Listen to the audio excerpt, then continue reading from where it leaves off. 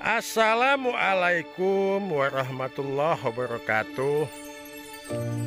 Di pagi hari ini Lambe Akeh akan mengadakan tutorial Mempercepat pembentukan gubal gaharu dengan cara yang sangat praktis dan efisien. Cara ini biasa dilakukan oleh petani-petani gaharu kenamaan dari Thailand Mari kita lihat caranya.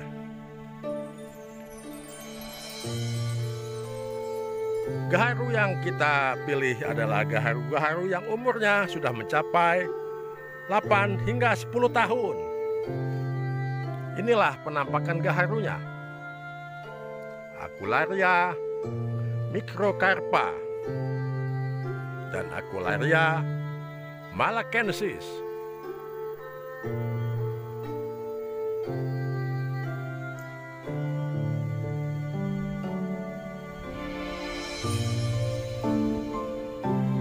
Mendeling batang rata-rata sudah mencapai 50 cm. Dan saatnya kita lakukan proses menuakan atau membentuk gubal sehingga resin yang dihasilkan benar-benar tua dan laku di pasaran. Cara yang kita lakukan ialah dengan mengerat pohon atau mengupas kulit.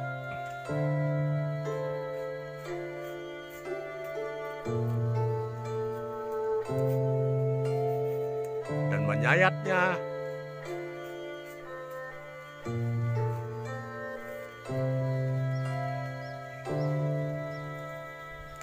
Inilah trik untuk membuat gaharu agar gubal terbentuk dengan cepat dan panen akan segera dilakukan dalam tempo paling lama satu tahun.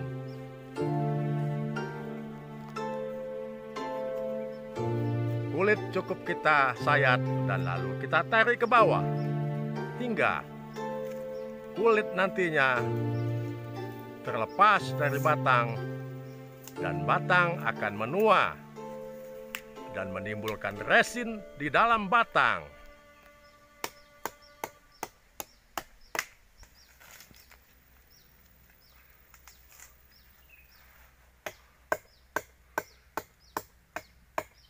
Cara ini hanya bisa dilakukan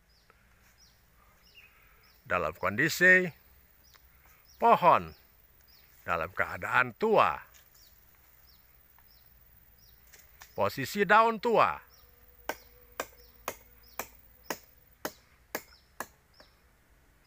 Dan kulit akan terbentuk lagi. Maka kulit-kulit yang terbuka atau kambium yang terbuka akan membentuk resin sehingga gaharu ke depannya bisa dipanen semua.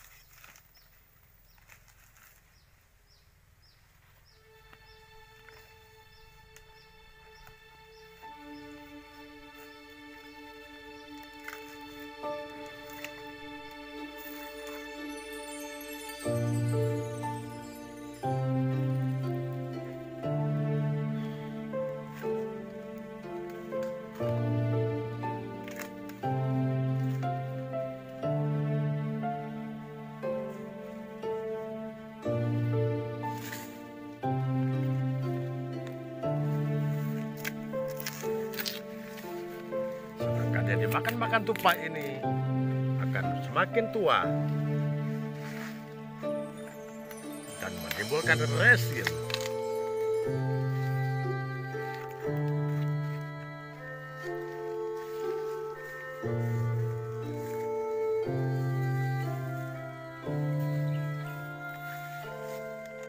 Inilah penampakan yang dimakan tupai.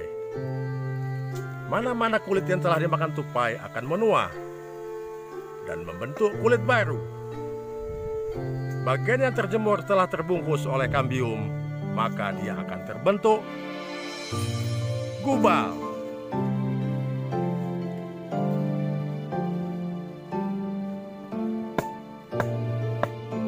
Dengan kualitas resin terbaik.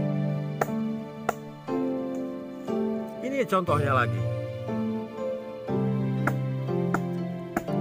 Kelas A. Super.